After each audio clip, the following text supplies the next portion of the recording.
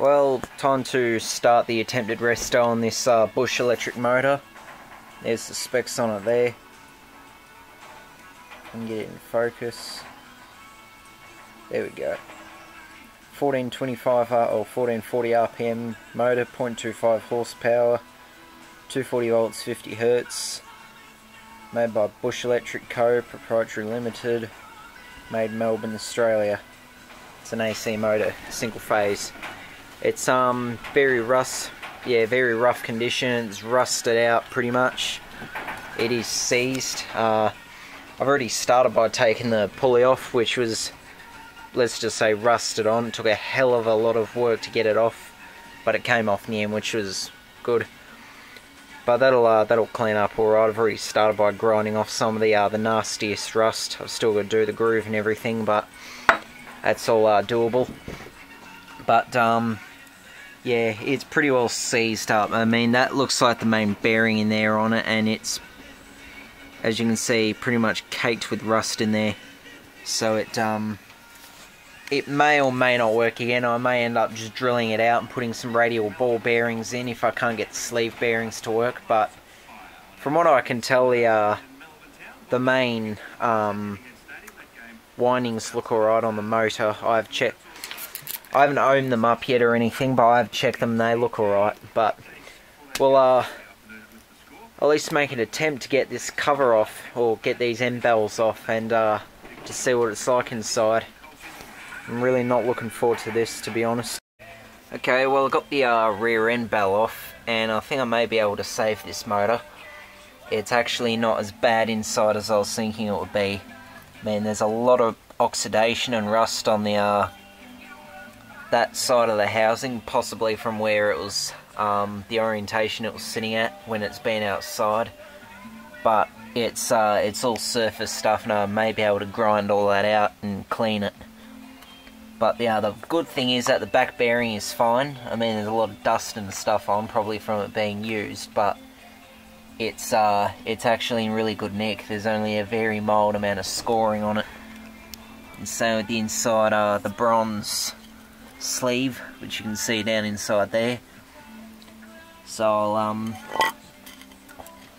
this side uh, on the outside, it's actually it looks alright. It's um, this must have been protected, but the front end's actually taken the most abuse. I'm gonna have to uh, probably belt the shaft with a block of wood and see if I can push it back in. Then hopefully I'll be able to separate the rotor and the stator all at once from the uh, the end bell but it's uh, it's not too bad. It's still seized. The uh, centrifugal switch still works, which is the important thing. But um, yeah, there's your uh, your little contacts there. So it, basically, when it spins up, it pushes that in. In fact, hang on, yeah, it's pushed in when it's stopped. Then it winds up, it releases that. That cuts power off of the start winding and onto the run winding.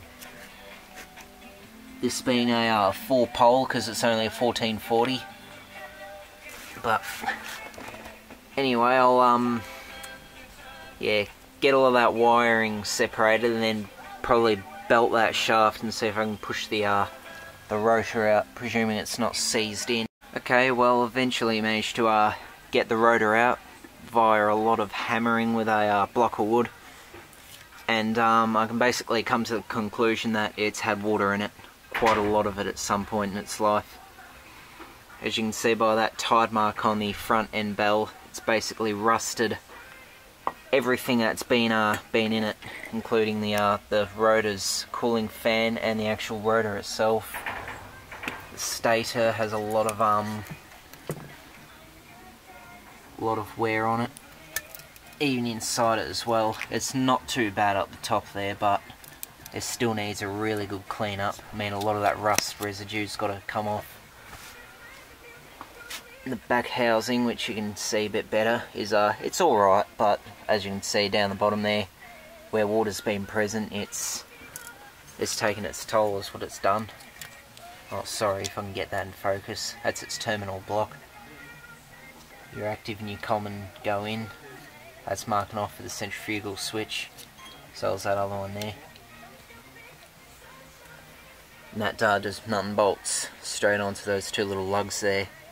There's the centrifugal switch which is uh, that'll have to come out as well and be cleaned up. Clean that uh, contact up.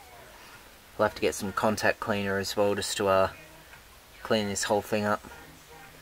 But the good thing is that that's not damaged, nor is that end bearing. That's all alright. The only concern is that one's very, very shot. I mean, these are uh, these are porous bronze bearings they use, but it's still very, very worn out inside there. And so it's the uh, the shaft as well. You can see that should be shiny like that side. As you can see, it's where water's gone. It's definitely done damage. But that will clean up though. That'll clean up alright presuming I can be able to get this thing apart. Hopefully I'll be able to get that fan off.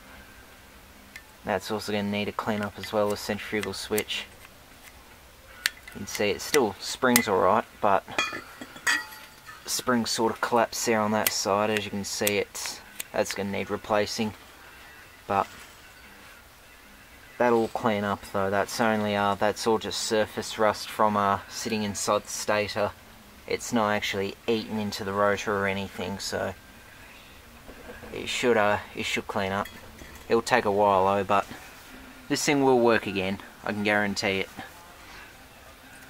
I'll probably end up having to replace that end bearing as well maybe with a radial ball bearing or something because it's just so bad in there I knew this thing would be pretty bad but the front's the worst part of it. That back one's alright. That'll just get a light brush over with some uh, and some other stuff.